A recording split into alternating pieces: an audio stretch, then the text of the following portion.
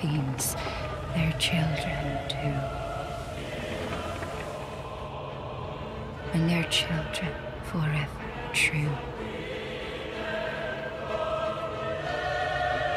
I call to the bloodless wherever they be.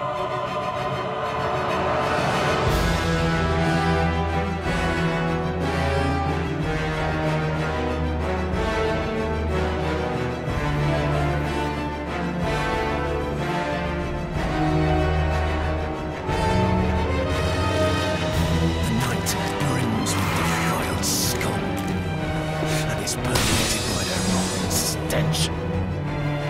Just think, now you're all set to hunt and kill to your heart's content.